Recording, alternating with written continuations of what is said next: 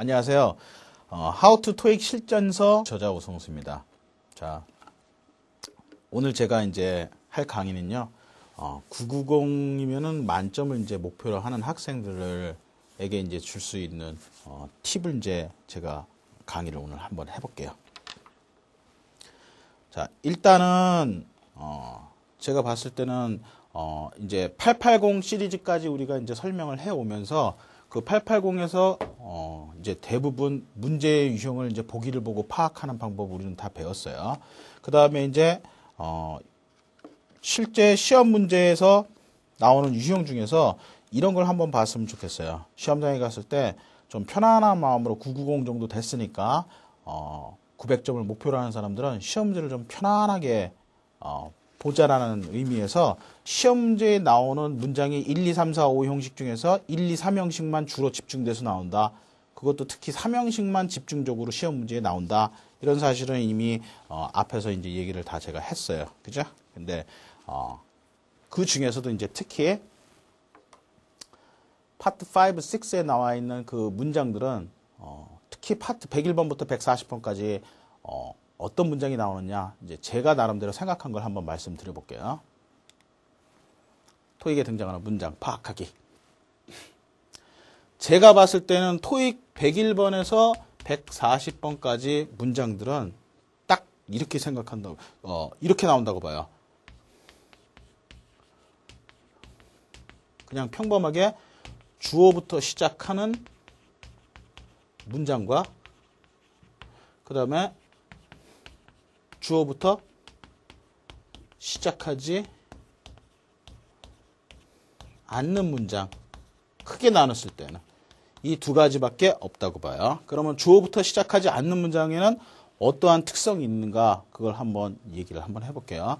어, 결론적으로 말해서 주어부터 시작하지 않으면 다 이런 특성을 가져요.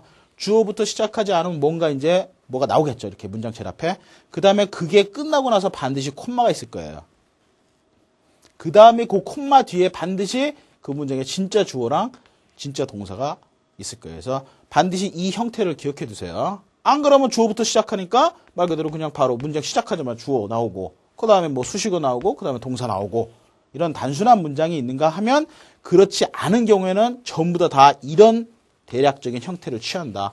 그래서 뭔가 앞에 나오고 주어가 아닌 무언가가 나오고 그 다음에 콤마 있고 그 다음에 진짜 주어 동사가 그 뒤에 나올 것이다. 그래서 그런 구조를 대략 아는 사람들은 주어 동사를 좀 더 빨리 찾을 수 있을 거예요. 문장을 좀 더 빨리 남보다 어, 몇 형식인지 문장의 구조 확, 실하게 더 빨리 파악할 수 있을 거예요. 그래서 그렇게 파악하자는 의미에서 어, 주어부터 시작하지 않는 문장, 그 다음에 주어부터 시작하는 문장에 대해서 이제 한번 알아보도록 하겠습니다.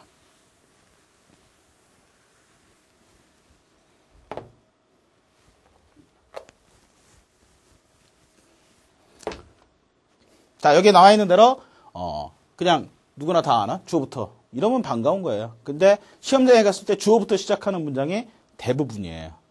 이것도 몇 퍼센트 했을 때 제가 보기엔 한 60, 70%다 이걸로 시작해요. 그러니까 너무 쉬운 거예요. 토익에 나와 있는 문장들. 그냥 주어부터 시작하면 된다. 그 다음에 또 주어부터 시작하지 않는 문장에서는 명령문, 동사 원형부터 시작하는. 맞죠? 그런 거 단순한 거. 그런 거 말고 그다음에 또 주어부터 시작하는 건 뭐가 있을까요? 그때 사실 가주어 it부터 시작하고 그다음에 가주어 진주어 구문이죠. 그렇게 많이 나오지 않을 거예요. 시험장에 갔을 때 그날 만약에 가주어 진주어 구문을 봤다. 그러면 그냥 재수 좋은 편이다. 이렇게 생각하면 돼요. 그 정도로 잘 안 나올 거예요. 가주어 진주어는 무조건 다 뭐로 시작해요? 이레즈로 시작하죠. 그 다음에 보어 나오고 그 다음에 요 부분이 to부정사 이하가 진짜 주어예요. 그래서 가짜 주어 it은 번역하지 않고 to부정사 이하를 진짜 주어로 번역한다. 번역하는 요령은. 그래서 지금같이 뭐가 어렵다? to make 어쩌고저쩌고 하는 것이 어렵다. To make plans 했으니까 계획하는 것이 굉장히 어렵다. 이렇게 번역하면 되는 문장이에요. 이 문장은. 그 다음에 이것도 역시 어, 가주어 진주어 구문인데 진짜 주어는 to부정사로 가는 방법이랑 that절로 가는 방법이 있다. 그래서 that 이하의 사실이 매우 crucial하다. 이렇게 번역하면 되는 거예요. crucial 중요한 중대한 이런 뜻이니까 그래서 지금같이 that our sales representatives possess 있으니까 우리의 영업 사원들이 뭘 소유해야 된다? good bargaining skills 있으니까 훌륭한 그 협상 기술을 갖는 것이 매우 중요하다. 이렇게 번역하면 되는 문장이에요. 아셨죠? 그래서 어쨌든 이것도 가짜 주어긴 하지만 주어 동사로 시작하는 문장이다. 자, 지금부터는 주어부터 시작하지 않는 문장이에요. 그래서 지금같이 어, 여기에 있는 것처럼 전명구부터 시작하고 그랬는데 솔직히 전명구부터 시작하든 말든 이걸 알아서 굳이 우리가 알아야 될 이유가 무엇이냐 하고 물어보신다면 실제 시험장 가면 이렇게 나오기 때문에 문제 번호 나오고 그 다음에 바로 블랭크가 있고 그 다음에 뭐라고 뭐라고 써 있겠죠. 그러면 문장 제일 앞에 뭐가 오는지를 물어보기 때문에 그래요. 근데 이럴 때 맨날 주어가 정답이 아니니까 제가 얘기하는 거예요. 맨날 주어 오면은 명사 고르면 다 답이에요. 맞죠? 근데 그게 아니기 때문에 그래서 주어로 시작하지 않는 문장도 반드시 알아야지만 이 문제를 풀 수 있기 때문에. 근데 이게 몇 개 나온다고 그래야겠을 때 최하 두 개나 세 개는 꼭 나와요. 매달 그것도 그러니까 무시하면 안 되는 문법 중에 하나예요. 그러니까 어, 잘 한번 음, 연구를 한번 같이 해봅시다. 자, 첫 번째 전명구부터 시작하고 그랬으니까 이 자리에 전명구부터 시작하고 콤마 찍고 그 다음에 진짜 주어 동사가 나온다는 얘기예요. 그러면 눈썰미 있는 사람들은 어쨌든 아 여기가 전치사구나. 그 다음에 그 뒤에 명사로 끝났구나. 근데 후치 수식어가 하나 더 왔구나. 그죠? 증가로 인하여인데 뭐의 증가겠어요? in 그 다음에 client 였으니까 고객 숫자의 증가예요. 맞죠? 그 다음에 요 콤마가 있으니까 요 다음에 주어동사 나간다고 그랬으니까 여기서부터 시작해가지고 명사 여기까지가 주어구나. 그 다음 진짜 동사 여기 나오긴 나왔구나. 주어동사 금방 파악할 수 있어요. 그러면 전명구가 시험 문제에 통째로 다 나오나요? 그랬을 때 여기서부터 여기까지가 통째로 다 나오나요? 그랬을 때 그렇지 않고 전치사 부분만 나오죠. 그래서 막상 시험장 가면은 이 부분만 블랭크로 나오는 거예요. 그래서 전치사 부분만 정답되게. 근데 아무 전치사가 아니죠. 뭐 at, 뭐 이런 전치사가 나오는 게 아니라 지금처럼 뜻이 약간 접속사랑 비슷한 애들이 나오는 거예요. 그래서 because of나 뭐 due to 혹은 뭐뭐에도 불구하고 in spite of 뭐 혹은 뭐 이런 거뭐 instead of 뭐 이런 식으로 해서 이런 전치사로 돼 있는 애들이 시험 문제에 잘 나온더라.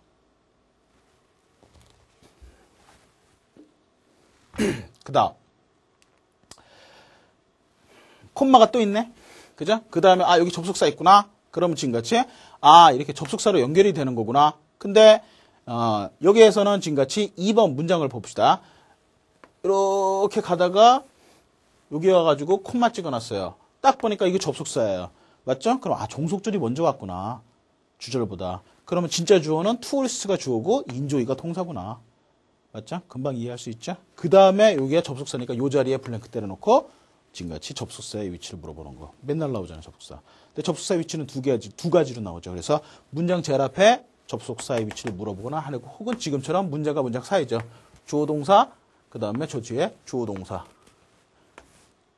문장과 문장 사이에 접속사의 위치. 혹은 문장 제일 앞에 위치. 매달 두 가지 출제 다 되죠. 지금 우리가 하고 있는 거는 문장 제일 앞에 뭐야? 그랬을 때 문장 제일 앞에 블랭크 떨어져 있고 그 뒤에 주어 동사 나와 있어. 근데 그 뒤에 가가지고 콤마 있고 또 주어 동사 있어. 100% 접속사가 정답인 문제. 그 다음에 아까 우리가 배웠듯이 접속사, 주어, 동사를 뭐로 바꿀 수 있다? 분사로도 바꿀 수 있다. 맞죠? 그래서 지금같이 어, 원래 어 이게 뭐야 갑자기 요 부분에 그랬을 때 요 부분만 이제 시험에 나오는 거죠. 그러면은 콤마 찍고 있고 주어 동사 진짜 주어 동사. 그럼 그 앞에 뭐로 시작해? 그랬을 때 접속사 주어 동사가 줄면 분사기 때문에 분사 분사로 시작한다. 그죠? 굉장히 어려운 문법 중에 하나예요. 시험 문제에 많이 나오진 않더라도 1년에 한 개나 두 개 정도는 나오는 스타일이다. 그 다음에 문장 제일 앞에 투부정사가 왜 오죠? 그랬을 때 원래 투부정사는 요 뒤에다 쓰는 거예요. 이유나 목적을 나타내는데. 근데 강조하기 위해서 문장 제일 앞에 갈 수도 있어요. 부사적용법의 투부정사가. 그래서 지금같이 이거 해석하면은 to ensure 뭘 보장하기 위해서 avoiding 했으니까 몸못을 확실히 피하기 위해서 avoid의 목적으로서 excessive overhead 했으니까 지나친 고정 비용을 갖다가 피하기 위하여 부사적용법. 그다음에 어찌어찌 하라 이거죠. 뭐뭐 하기를 결정하였다. 이렇게 나온 거죠. 그래서 콤마 있고 이 문장의 진짜 주어는 firm, 동사는 decided. 맞죠? 정답은 투부정사 자리. 문장 제일 앞에 투부정사로도 시작할 수 있다. 그 다음에 아까 명령문은 어, 아까 전에 얘기했던 거고 요건 쉬운 거고 동사 원형부터 시작하면 뭐 명령문이죠. 뭐 보나마나. 자 그러면은 이제 정리 한번 해볼까요? 딱 문장 제일 앞에 이렇게 있고 그 다음에 주어 동사로 나왔다. 그러면 이 자리에 정답은 그랬을 때 전명구 전치사가 답이 되게 맞죠? 그 다음에 접속사 주어 동사 콤마 찍고 주어 동사 맞죠? 접속사만 정답으로 나옴. 그 다음에 콤마 찍고 주어 동사인데 접속사 주동사 줄이면 분사부터 시작하니까 문장 처음에 정답은 분사. 오케이? 그 다음에 방금 전에 배웠던 대로 투부정사. 이렇게. 맞죠? 그 다음에 또 있나요? 그랬을 때 원래는 문장 제일 앞에 부사 오죠. 이렇게. 너무 오래된 스타일이라서 안 나오는 스타일. 10년 전에 유행하던 스타일. 그래서 어, 별로 알아봐야 도움은 안 되는. 실제 막상 시험장에서 별로 출제가 안 될 테니까 별 도움은 안 되는 스타일. 그래서 문장 제일 앞에 blank 때려져 있을 때 정답은 무엇입니까? 그랬을 때 분사, 투부정사, 전치사, 접속사, 부사. 굳이 얘기하자면. 그래서 하나, 둘, 셋, 넷, 다섯 가지 종류의 정답이 튀어나올 것이다. 이거죠. 정리를 해주자면 이것도 싹 머릿속에 정리를 해놔야 돼요. 그 다음에 어, 이거는 이제 여러분들이 어, 어떨 때 이 방법을 쓰면 좋으냐면 시험지를 딱 받자마자 어, 파본 검사할 거예요. 근데 파본 검사 시간에 뭘 하는 게 좋습니까? 청취를 지금같이 읽어두는 게 좋습니까? 파트 3나 4나 혹은 문법 문제를 하나라도 더 푸는 게 좋습니까? 했을 때 저 같은 경우에는 문법 문제를 풀어왔기 때문에 문법 문제 푸는 편이 더 낫다고 생각해요. 그래서 파본 검사 시간과 그 다음에 파트 1 direction 읽어주는 시간 거의 1분 정도 읽어줘요. 그리고 파본 검사하는 시간 어, 감독관에 따라서 재수 좋은 감독관 만나면 한 2분, 3분도 줘요. 그러면 2, 3분을 다 합쳐서 어, 문제를 보면서 표시해 놓으면 돼요. 이 문제는 이럴 것이다 라고. 그래서 여기 써 있는 것처럼 보기에 비동사 플러스 PP가 있는 문제를 찾아 표시해 놔라. 왜 표시해 놓으란 얘기야? 그때 수동태 문제일 테니까 아마도. 그 다음 투부정사가 있는 표시는 왜 해놔? 그랬을 때 그게 바로 투부정사 문제일 테니까 보나마나. 그 다음에 to 다음에 blank가 있으면 어쩌란 얘기지? 있을 때 이 to가 투부정사의 to라면 동사 원형이 답이고 전치사라면 명사나 동명사가 답이다. 근데 어떻게 구별하느냐? 그건 책에 다 정리해놨어요. 전치사 to로 이루어지는 숙어. 근데 그거가 아니면 다 동사 원형이 답이에요. 그 다음에 문장 제일 앞에 빈칸이 있는 문제는 두세 개가 매달 나올 것이다. 방금 전에 설명했던 그 다섯 가지의 정답이 그 중에서 두 개가 세 개 추려가지고 나온다는 얘기죠. 그 다음에 보기가 전부 동사이고 시제가 다 달라? 그럼 뭐 시제 문제죠. 그 다음에 시제에 뭐가 그렇게 많이 나오니? 얘기했을 때 과거와 미래가 가장 많이 나오는 편이다. 그 다음에 보기에 접속사 and나 but이나 or이 단 한 개라도 껴있으면은 and를 그리고 but은 그러나 이렇게 하지 말고 해석이 아니라 왜 이런 애들은 병렬 구조를 취하는 등위 접속사이기 때문에 병렬 구조가 맞는지부터 확인하라는 얘기예요. 그죠? 그래서 보기에 있으면은 블랭크가 있고 블랭크 앞뒤로 품사가 똑같은지 A라는 단어와 B라는 단어의 품사가 똑같은지 그걸 확인하는 얘기죠. 만약에 똑같아. 그러면은 100% 답은 뭐예요? and나 but이나 or이 답이다. 그 다음에 역시 병렬 구조의 또 다른 형태죠. and 앞에 블랭크 있으면은 and 앞에 어떤 품사가 오느냐? and 뒤에 품사를 보고 맞출 수 있죠. 그 다음에 마찬가지로 and 뒤에 블랭크가 있냐? 그러면 and 앞에 있는 품사를 보고 뒤에 품사를 우리가 스스로 유추해낼 수 있죠. 그 다음에 보기에 동사 원형에다 ing 두 개가 다 있다. 그럼 이게 뭐야? 그랬을 때 분사죠. 그 다음에 보기에 동사 바로 다음에 빈칸이 있으면 뭐니? 그랬을 때 어, 답은 어, 자 들어봅시다. 만약에 이게 자동사야. 그럼 자동사로서는 일형식 동사를 말하니까 수식어로서 부사가 오겠죠. 혹은 아까 얘기했듯이 부사구 온다고 그랬어요. 즉 전명구가 오죠. 그죠? 이두두두 다 싫어. 그러면은 아까 얘기했던 것처럼 투부정사. 그 다음에 종속절. 네 가지 옵션이 있네. 1번, 2번, 3번, 4번. 그 다음에 타동사라면 뭐가 올까요? 그랬을 때 타동사라면 목주어가 와야죠. 근데 목주어의 품사는 목적으로서 누구나 다 아는 명사. 맞죠? 그 다음에 컨시der 다음에는 목적으로서 동명사. enjoy ing, consider ing, avoid ing. 맞죠? 그 다음에 아까 많이 봤던 that절. 맞죠? that절도 목적어로 많이 쓰였잖아요. 그래서 that절과 같은 종속절. 근데 시험장 가면 that절이 제일 많이 나오기 때문에 that절이라고 기억해놔도 상관없어요. 그 다음에 마지막으로 명사적 용법의 투부정사. 그래서 지금같이 총 네 가지가 정답으로 골고루 다 나온다. 그 중에서 동명사가 어, 조금 잘 안 나오고 명사나 투부정사 같은 거 의외로 잘 나온다. 특히 명사는 시험 문제 너무너무 많이 나온다. 그러면 자동사인지 타동사인지 일일이 다 넣어봐야 되네요. 그랬을 때 맞죠? 자동사 할 때는 일단 부사 넣어보고 타동사라고 여기 지금 명사 한번 넣어보고 그래서 해석이 부사로 넣는데 너무너무 잘 돼. 그럼 부사가 답인 거예요. 그냥. 근데 해석이 명사가 넣는데 해석이 참 잘 돼. 그럼 명사가 답인 거예요. 그건 타동사이기 때문에. 그렇게 생각하면 된다. 그 다음에 전치사 명사 사이에는 이미 다 했지만 이 명사를 꾸며주는 형용사, 분사, 소유격 세 가지가 답이다. 그럼 동명사도 오는데요. 그래서 동명사 할 때는 이 명사가 반드시 목적어가 돼야 돼요.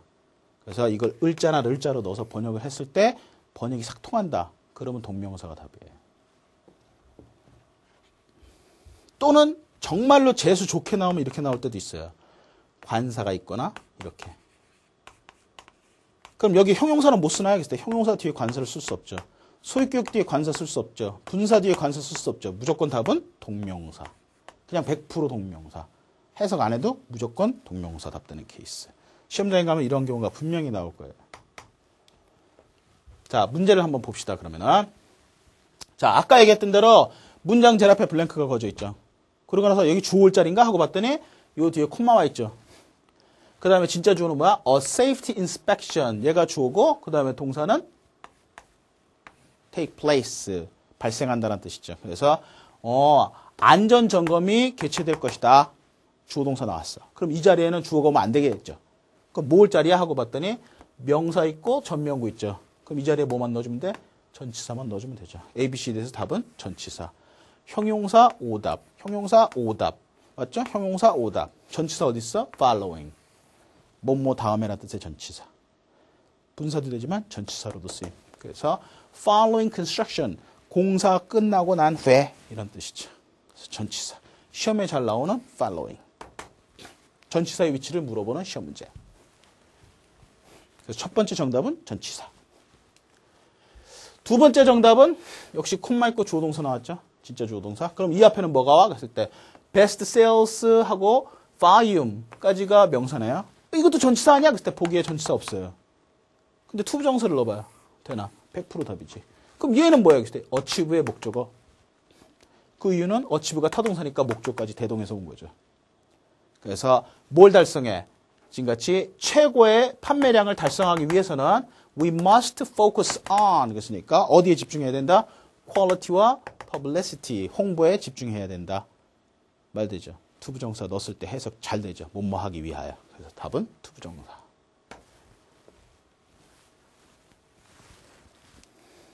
세 번째, 이건 쉬운 거네. 콤마 있고 주어, 동사. 주어, 동사. 100% 접속사. 접속사, 접속사. 접속사 아니야? 접속사 아니야. once 아니면 although. once는 뭐뭐 한 후에, although는 비록 뭐뭐이지만 알아서 해석해서 넣으면 답 나올 것이다. 맞죠? 문법적으로는 접속사라는 사실을 밝혀냈으니까. 그래서 지금처럼 세 문제 풀어봤자면 세 문제의 정답이 다 달랐어요. 투부정사가 정답, 전치사가 정답, 지금처럼 접속사가 정답. 이런 식으로 다 다르게 나와요. 시험장에 가면. 근데 이런 애들은 거의 매달 나온다고 보면 돼요. 접속사가 답인 케이스는. 투부정사가 정답인 경우는 1년에 두 번 나와요. 문장 제일 앞에 투부정사 오는 경우는. 그리고 전치사 잘 나올 거예요. due to, 뭐 because of 아까 얘기했던 거 있죠? 잘 나오고.